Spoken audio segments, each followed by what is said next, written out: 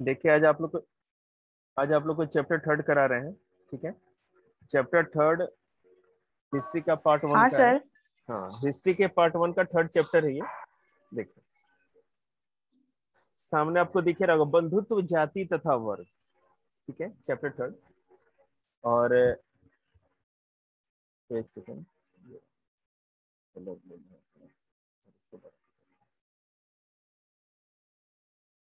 तो जैसे कि पीछे हम लोगों ने देखा था, ये हमारा आरंभिक समाज जब हम लोग ज़्यादा सोशलाइज होने लगे, ठीक है, और ज़्यादा से ज़्यादा सोसाइटी डेवलप होने लगी। समाज का डेवलपमेंट कैसे? समाज के डेवलपमेंट का मतलब केवल पॉजिटिव ही नहीं होगा, सकारात्मक नहीं, नकारात्मक विकास भी हो सकता है, ठीक है? नकारात्मकता या नेगेटिविटी की वृद्धि ही नकारात्मक विकास है। अब समाज में अगर जाति प्रथा आ गई, ठीक है, या मान लीजिए कि छुआछूत की भावना आ गई तो समाज का नकारात्मक विकास ही तो है, उसको डेवलपमेंट तो कहा नहीं जाएगा। तो देखिए, अभी हमने पिछले जो चैप्टर था, हम लोगों ने क्या पढ़ा था? 600 ईस्वी पूर्व से 600 ईस्वी तक के मध्य का आर्थिक और राजनीतिक जीवन में अनेक परिवर्तन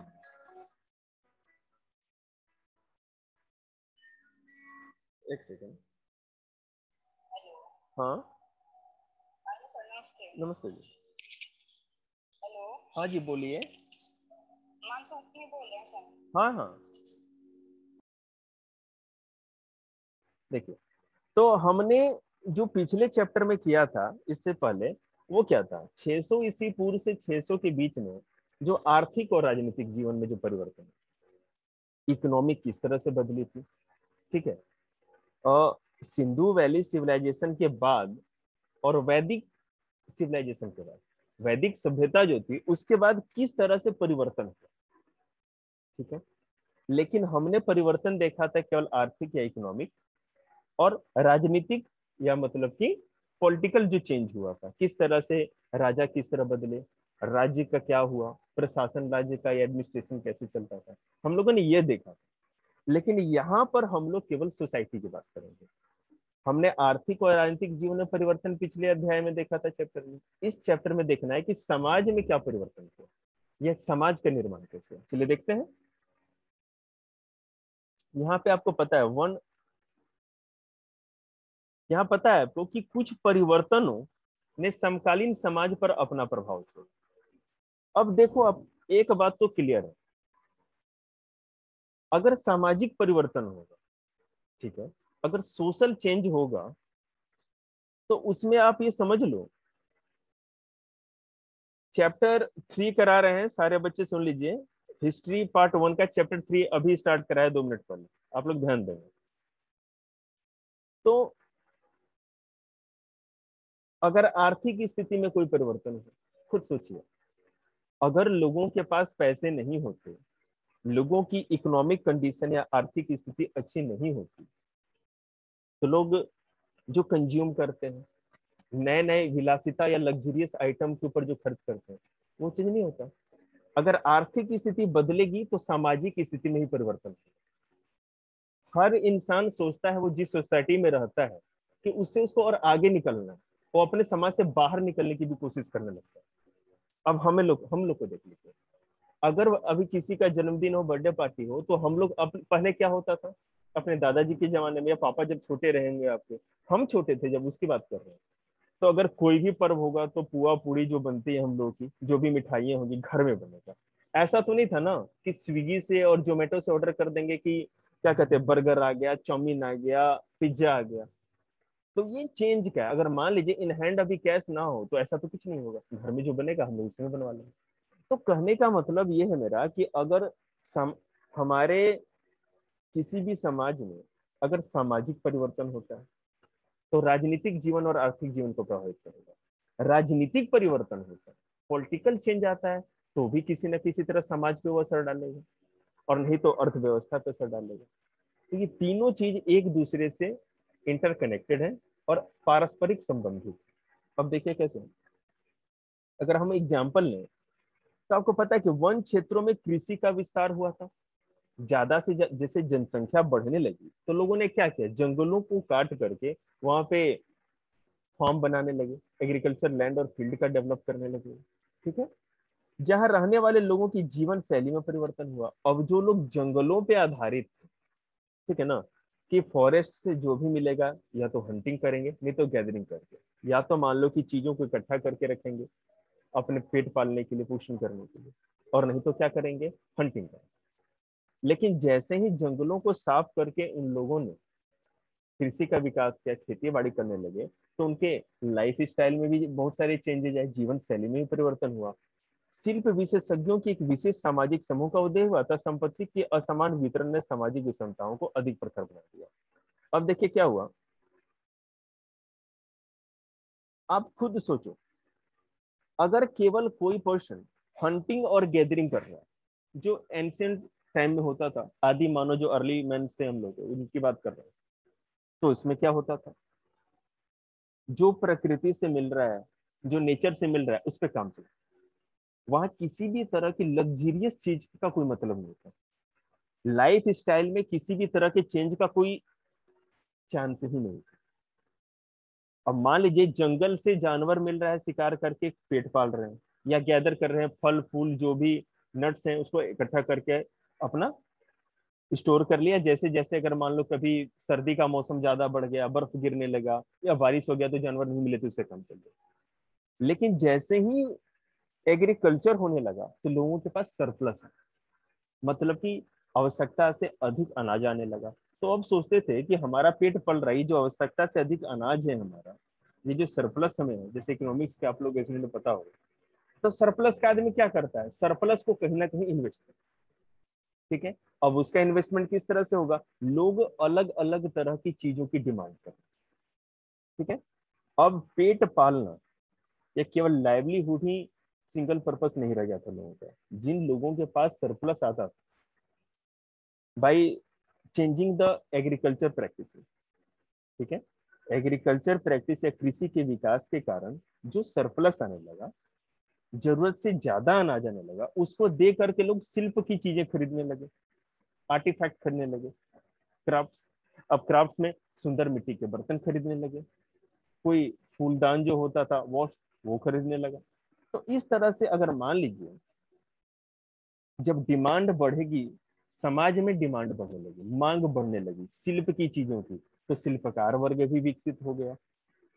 शिल्प की चीज़ें हर आदमी तो बना नहीं सकता। आर्टिस्ट ही तो आर्ट की चीज़ें बनाएगा ना, क्राफ्ट की चीज़ें। तो उनका भी एक विकास हो गया। साथ ही साथ, निश्चित रूप से जैसा कि अभी हमारा, अभी का समय, समाज है, जो प्रेजेंट का हमारी जो सोसाइटी हमारी प्रेजेंट सोसाइटी है, इसमें भी आपने देखा होगा रिच एंड पुअर की जो एक डिफरेंसेज है उनके बीच में। वो क्रिएट अमीर और गरीब का जो अंतर है, अभी भी विद्यमान और उस समय भी ऐसा ही था तो निश्चित रूप से जो पहले क्या था, जब कृषि का विकास नहीं हुआ था तो समाज में एक ही तरह के लोग थे। या तो जानवर थे, नहीं तो इंसान थे। इंसान वो जो चीज़ों को इकट्ठा करते थे, गैदर करते थे, और नहीं तो हंटिंग करके अपना पेट पालते थे। और जानवर वो जो जानवर थे। लेकिन अब इंसानों में भी विभाजन हो गया। इनमें भी कैटेगराइजेशन हो गया। एक वो लोग हुए जिनके पास ज़रूरत से ज़्यादा सरप्लस होता था। खेती, जिनके पास ज़्यादा अच्छी खेती थी, वो ज़्यादा अनाज उनके पास सरप्लस में आ जाता था। ज़्यादा एक्स्ट्रा अनाज आ जाता था फ़ूड ग्रेन जिससे कि वो ज़्यादा सिल्क की चीज़ें खरीद सकते थे और अपने लाइफ को ज़्यादा विलासिता के वस्तुओं पे मतलब लग्जरियस आइटम पे खरीद, मैंने उस चीज़ को इन्वेस्ट करते तो जिस तरह से मैंने बोला कि एक इकोनॉमिक एक्टिविटी आर्थिक जो गतिविधि थी उसमें चेंज आने से केवल लोगों ने जंगलों को काट करके खेती करना स्टार्ट कर दिया। उसी से समाज में आर्थिक असमानता या इकोनॉमिक है ना डिफरेंस का एक चीज़ आ गई इकोनॉमिक डिफरेंस आ गई। देखिए।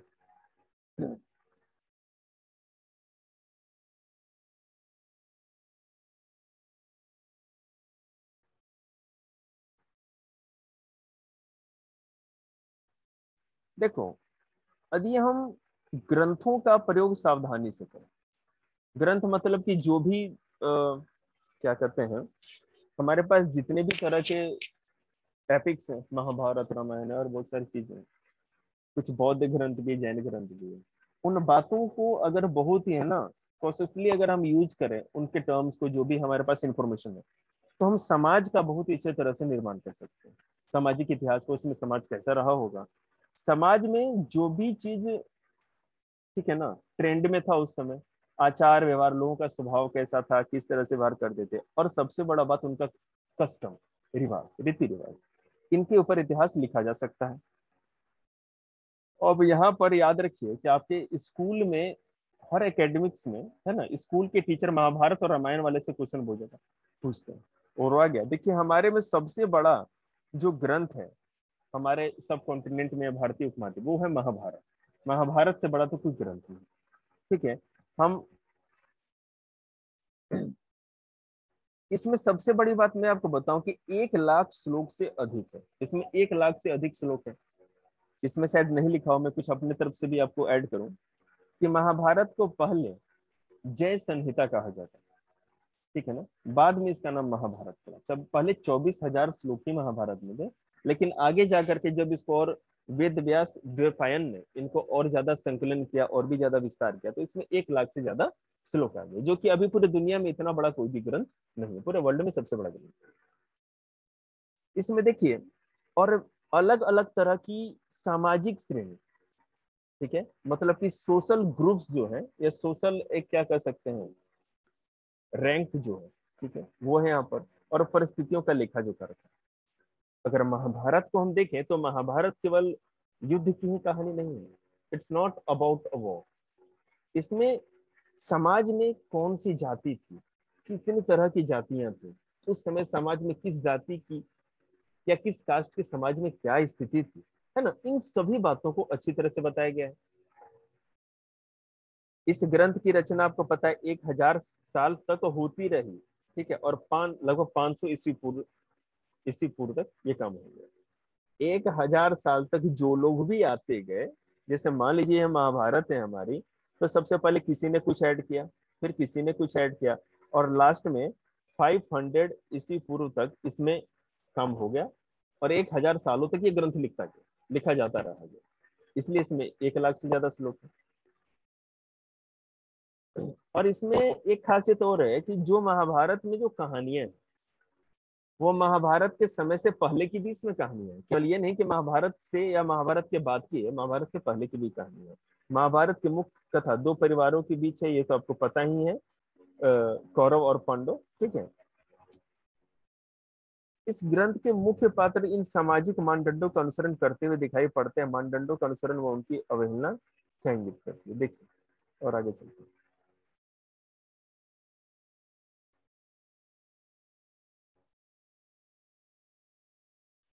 अब एक बात है यहाँ पर कि महाभारत का समालोचनात्मक संस्करण, देखिए, समालोचनात्मक संस्करण का मतलब है ना कि एक बैलेंस क्रिटिसाइज किया गया अगर कुछ गलत है तो उसके बारे में भी लिखा जाए, और कुछ सही है तो उसके बारे में भी लिखा जाए।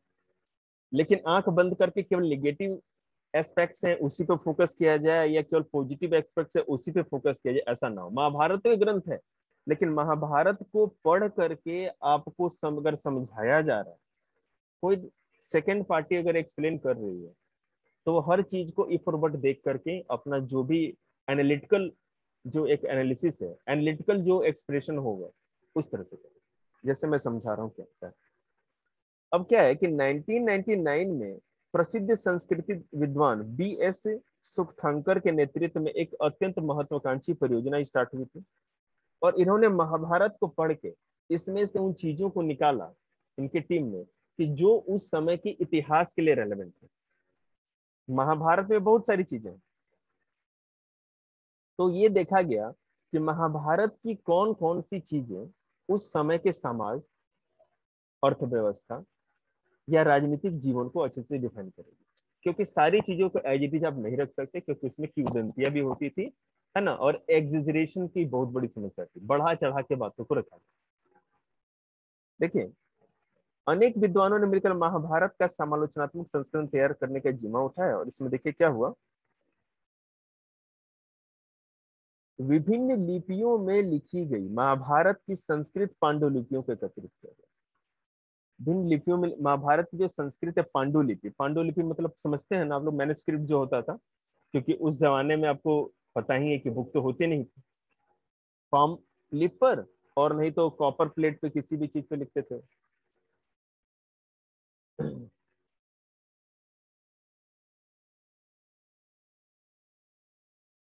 देखिए, इसमें जितने भी श्लोक थे महाभारत में, सबको पढ़ा गया, अच्छी तरह से एनालिसिस किया गया, और इसमें से उन्होंने उन श्लोकों का चयन किया जो लगभग सभी पांडुलिपियों में पाए गए थे और उनका प्रकाशन तेरह हज़ार पेजेस पे थर्टीन थाउज़ेंड पेजेस पे अनेक ग्रंथ खंडों में किया।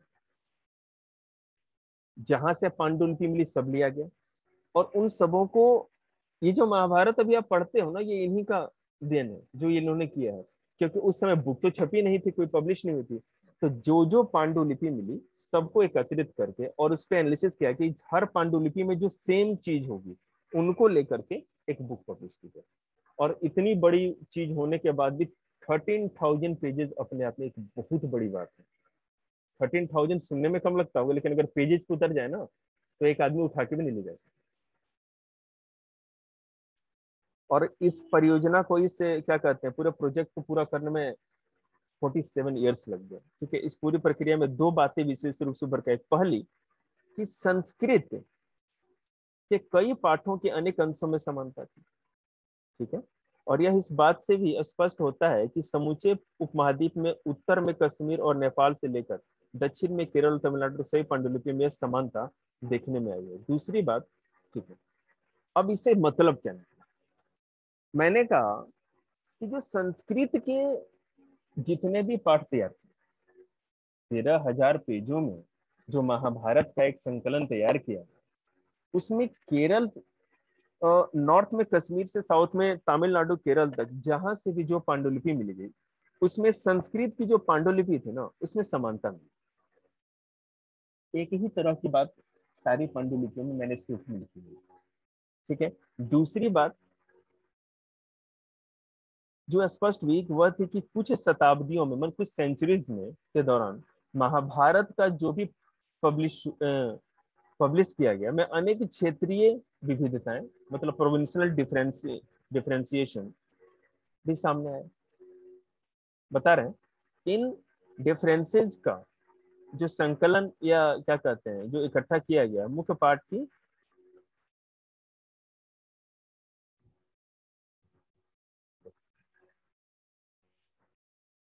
पहली बात समानता देखने को जितनी भी संस्कृत में पांडुलिपियाँ थी कई पाठ में उसमें सब में समानता थी। आप कश्मीर से लेकर के कन्याकुमारी तक चले जाओ ठीक है? सब एक ही तरह की बातें कुछ ना कुछ होती थी उसमें। पहली बात। लेकिन दूसरी बात क्या थी कि इन पांडुलिपियों को जो पढ़ा गया मैंने स्क्रिप्ट तो, तो ये चीज़ देखा गया कि एक क्षेत्र दूसरे क्षेत्र से कई मामलों में अलग क्षेत्रों में या प्रोविंसेज में तो डिफरेंस दिखा, लेकिन पांडुलिपियों में बात एक ही ठीक है? एक तरह से देखा जाए तो प्रभेद उन गुण प्रक्रियाओं की एक सेकंड के मैं देख लू कि कितना डिफ़िकल्ट हिंदी है ना, आप लोग को बोलूँगा तो कोई फ़ायदा नहीं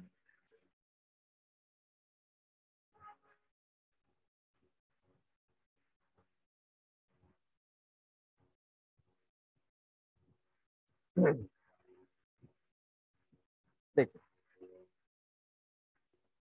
अब एक बात जो कंक्लूजन निकल के आती है इसमें से, कि जो भी ये संस्कृत में मैंने स्क्रिप्ट या पांडुलिपि लिखी थी, निश्चित रूप से उस समय एक ही वर्ग ऐसा था, एक ही सोशल ग्रुप था, जो इन चीज़ों को कर सकता था, और जिनका संस्कृत पे कमांड था, वो था ब्राह्मण वर्ग, ठीक है?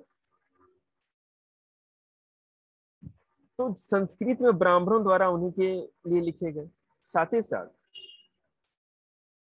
उन्नीसवीं और बीसवीं नाइनटीन एंड ट्वेंटी सेंचुरी में जो हिस्टोरियंस थे, उन्होंने पहली बार सामाजिक इतिहास के मुद्दों का अनुशीलन करते समय इन ग्रंथों को सतही तौर पर समझा। उनका विश्वास था कि इन ग्रंथों में जो कुछ भी लिखा गया है, वास्तव में उसी तरह से उसे व्यवहार में लाया जाता है। ठीक है?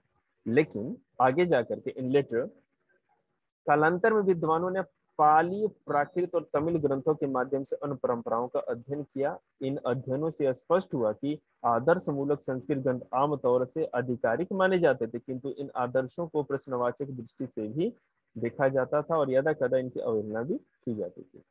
जब हम इतिहासकारों द्वारा सामाजिक इतिहास का निर्माण कर, की व्याख्या करते हैं, तब हमें इस बात को ध्यान रखना चाहिए। अब देखिए, हम आपको बताते हैं कॉन्क्लूजन क्या है। देखिए, आप लोग, बोर्ड पे देखिए।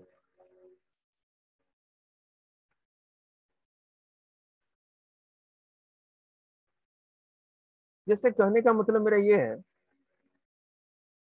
कि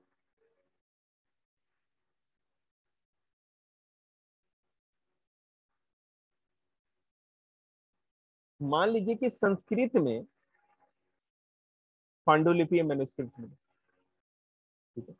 इसमें सोसाइटी के बारे में बहुत सारी बातें बताई गई। कि समाज में चार वर्ग था, ब्राह्मण क्षत्रिय, वैसे शूद्र ब्राह्मणों का काम ये था, क्षत्रिय का काम ये था, वैसे शूद्र का काम ये था। ये सब तो आप लोग जानते हैं। तो इतिहासकारों ने हिस्टोरियन ने माना कि भाई जो ये संस्कृत ग्रंथ है है ना, या संस्कृत जो एपिक्स है, ये सही बात। हम लोग क्या करेंगे कि इसी को मान के चलेंगे, ठीक है? और इसी के आधार पे पूरी की पूरी हम सोसाइटी का, ठीक है ना, ये अगर क्लास अगर सॉरी क्लास कर जो सोसाइटी हमारी है, उसका पुनर्निर्माण है इस ग्रंथों में जो भी समाज के बारे में लिखा गया है, इन्हीं संस्कृत ग्रंथों में एपिक्स में, ठीक है, वही बात सच है। लेकिन आगे जा करके जब हिस्टोरियन ने सोचा कि नहीं नहीं नहीं। एक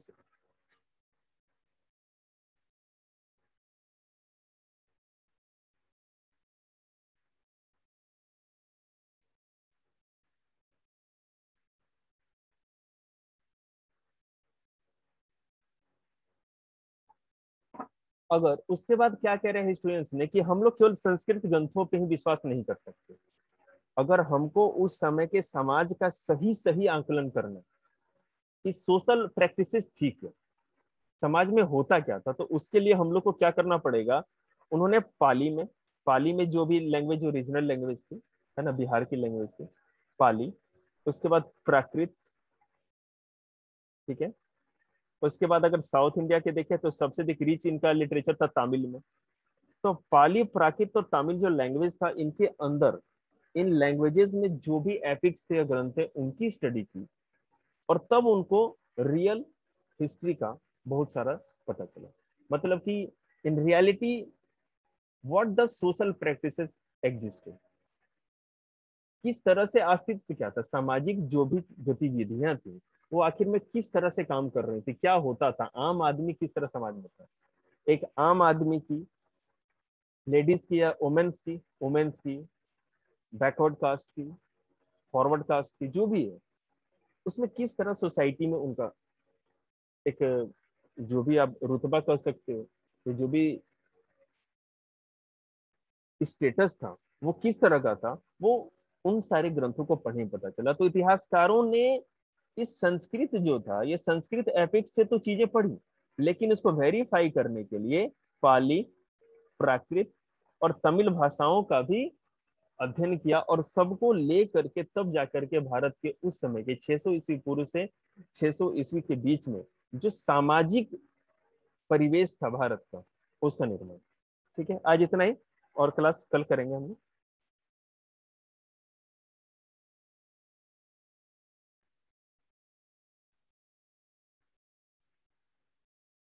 अंशुल और खुशी कल, आप लोग टाइम पे क्लास लिया करो, ठीक है ना?